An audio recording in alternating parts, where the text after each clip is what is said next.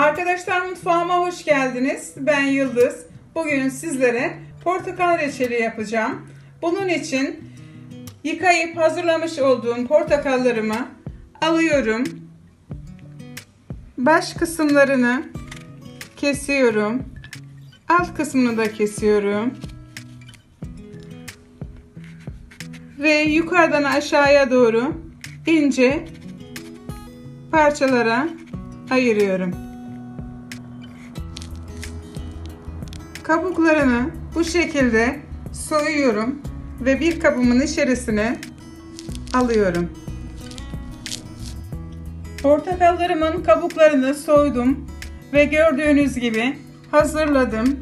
Şimdi bunları yukarıdan aşağıya doğru 1 santim genişlikte parçalara ayırıyorum.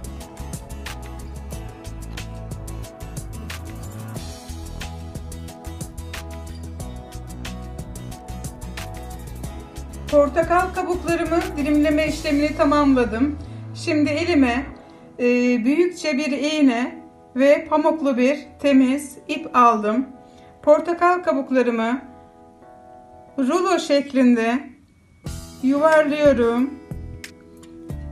Gördüğünüz gibi bunun sıkı bir şekilde dolanmasına dikkat edeceğiz. Ve iğneyi tam ortasından geçiriyorum. Ve hepsini aynı bu şekilde devam ettiriyorum.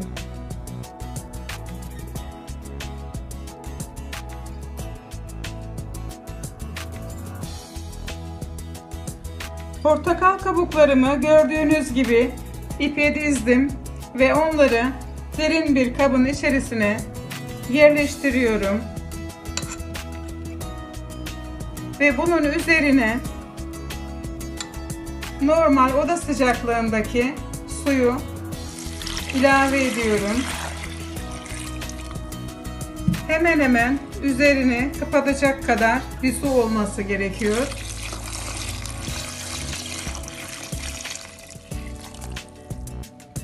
Bu şekilde portakal kabuklarımı suyun içerisinde bekletiyorum ve mutfakta her iki saatte bir suyunu değiştirerek acısının gitmesini sağlayacağım. Portakal kabuklarımı yaklaşık şu an 12 saat beklettim ve ara ara gelip suyunu da değiştirdim. Gördüğünüz gibi sarı renk alan suyu biraz daha açıldı. Ve bu işlemi yaklaşık 24 saat boyunca devam edeceğim. Portakal kabuklarım tam olarak 24 saat suda bekletildi ve ara ara suyunu bu şekilde değiştirdim ve şimdi son kez suyunu süzdüm. Portakal kabuklarım gördüğünüz gibi biraz yumuşadılar. Ve şimdi üzerine yine oda sıcaklığındaki suyumu ilave ediyorum. Ve tenceremin altını yakacağım. Ve 5 dakika kaynatacağım. Suyunu tekrar süzeceğim. Bu işlemi 4 kez tekrarlayacağım. Portakal kabuklarım yaklaşık 5 dakika kaynadı ve şimdi onları alıyorum ve soğuk bir suyun içerisine bırakıyorum. Buna şoklama yöntemi diyoruz. Hepsini aldıktan sonra tenceremin içerisindeki suyu boşaltacağım ve tekrar üzerine su ilave edip kaynatacağım. soğuk suyun içerisinden alıp tekrar tencereme yerleştiriyorum. Ve üzerine soğuk suyumu ilave edip tekrar 5 dakika kaynamaya bırakacağım. Dördüncü kez kaynattığım portakal kabuklarını suyunun içerisinden alıyorum ve suyunun tamamen süzülüp soğuması için beklemeye alıyorum. ve kesinlikle acısının, o kekiremsi tadının kalmadığından emin olabilirsiniz.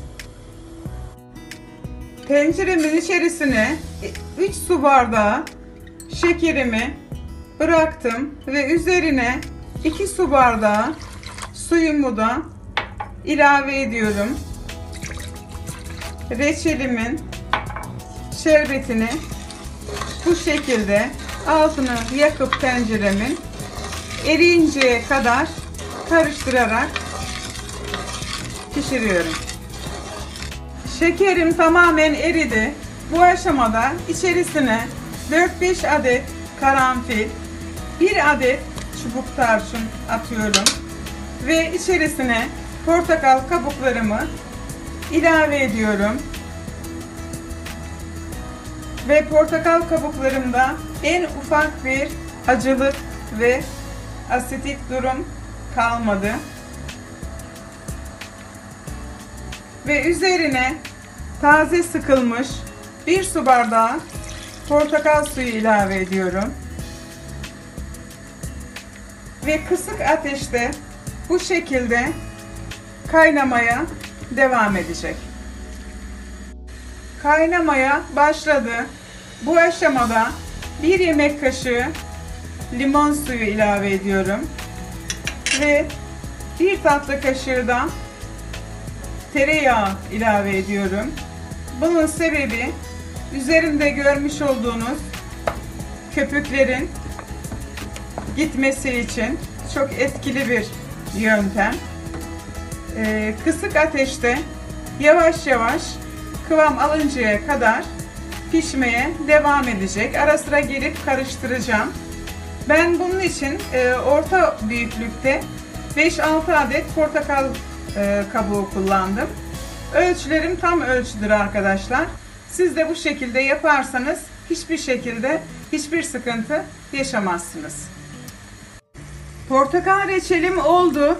Gördüğünüz gibi suyu da kıvam aldı. Artık altını kapatıyorum. Ve kıvamı da gördüğünüz gibi akışkan ve nefis oldu. İplerinden kurtarıp arındırıp servise hazır hale getireceğim. Portakal kabuğu reçelimin ilk sıcaklığı geçti ve servis tabağına ve kavanozuma aldım.